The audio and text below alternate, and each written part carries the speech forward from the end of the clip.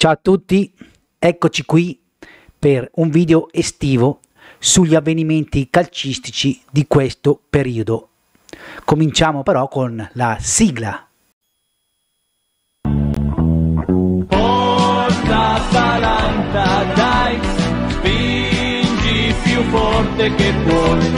Forza Atalanta, dai, siamo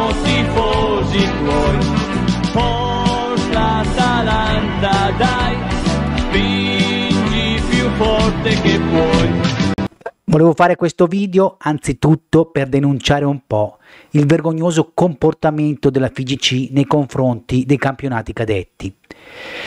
Senza essere tifoso di nessuno, non posso constatare che i meriti e i demeriti di alcune squadre, per errore a quanto pare di pura formalità, possano determinare retrocessioni addirittura clamorose.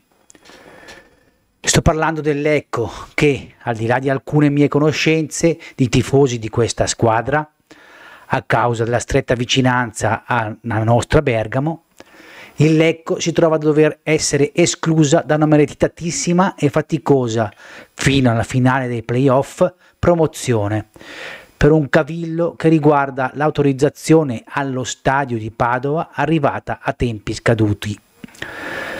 Non solo, ma l'eventuale esclusione dalla Serie B, oltre ad essere assurda, la confinerebbe addirittura a ripartire dalla terza categoria. Non si giustifica nessuna violenza, tantomeno per il calcio, ma se ci fosse qualche disordine, se everasse il caso non sarebbe sicuramente fuori luogo a discapito poi di Perugia e Brescia che hanno meritatamente subito la retrocessione. Da Talantino sì, questo mi dà fastidio, visto che noi in tempi non così assurdi ci siamo fatti il nostro bel campionato di Serie C, senza chiedere ammissioni a campionati che non meritiamo. A questo punto, cari bresciani, legittimate anche le nostre, tra virgolette, affettuose offese. Allo stesso modo, andando contro all'Atalanta, non vedo perché il Siena debba rinunciare alla Serie C. E sembrerebbe, dico sembrerebbe, a discapito della nostra Atalanta Under 23, che arriva in C, secondo me, senza alcuna qualificazione precedente, per quale motivo? Dovrebbe iniziare come dovrebbe essere dal fondo come tutte le altre squadre. Insomma, un calcio che sta sempre diventando più assurdo, che decide composizioni di campionato a tavolino e senza meriti. Vi invito qui sotto ad esprimere i vostri pareri in merito commentando. Passiamo alla Serie A e agli ormai ritiri cominciati per tutte le squadre partecipanti. Manca infatti appena un mese e si ricomincia con il campionato che vede l'Atalanta protagonista anche per gli impegni che dovrà avere in Europa League, da testa di serie e che si preannuncia una competizione combattiva. Prime squadre che affronteremo sono decisamente la nostra portata.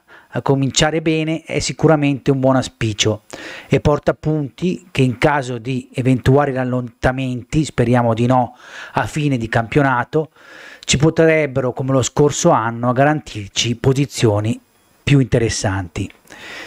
In due trasferte subito avremo il Sassuolo e il Frosinone, per poi avere il Monza in casa. Vedremo, non possiamo parlarne certo adesso, a calcio un mercato aperto ed in fermento. Parlando quindi del mercato dei giocatori, sicuramente un mercato scarno e senza grosse novità nel panorama della nostra Serie A. Si annoverano comunque tra i più rilevanti scambi sia in entrata che in uscita quelli di Onana al Manchester dall'Inter, Quadrado all'Inter, peccato che non se ne sia andato dall'Italia, proveniente dalla Juve, Kim del Napoli al Bayern Monaco, Tonali del Milan al Newcastle, Becao, che era quasi vicino all'Atalanta, è ormai destinato invece al Fenerbahce. Gollini viene riconfermato al Napoli dall'Atalanta. Di Maria Benfica dalla Juventus, Piontek dalla Sernitana all'Erta Berlino, Turam dal Borussia arriva all'Inter. In sospeso Morata che non dovrebbe arrivare in Italia, ma o non si sa se in, con l'Inter o con la Roma. E poi c'è la questione del, del costo che l'Atletico non, non vuole sentire ragione sembra quasi fatta anche per invece Arthur alla Fiorentina eh, proveniente dal, dal, dalla Juventus. Eh, nulla quindi di particolarmente importante, se non che tra queste trattative le più importanti riguardano proprio delle fughe all'estero. Sottolineo questo perché il campionato così si impoverisce di giocatori di livello e non è certo un vantaggio a favore della Serie A. Quello che invece aumenta è il canone da Zone che, nonostante i problemi di streaming, ha raggiunto costi addirittura più alti di quanto faceva pagare Sky in passato ed offriva in aggiunta, anche se obbligatoriamente, alcuni canali di intrattenimento. Concludiamo quindi questo primo video sulla nuova stagione 23-24 e con la situazione della nostra Atalanta.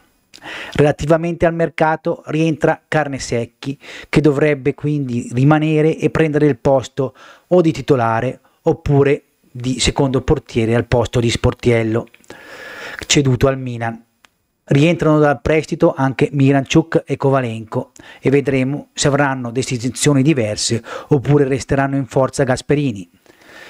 In entrata a dopo i difensori Kolasinac e Bakker non ho ancora imparato bene a pronunciarli. Mosca. Niente nomi altisonanti, ma speriamo siano buoni investimenti.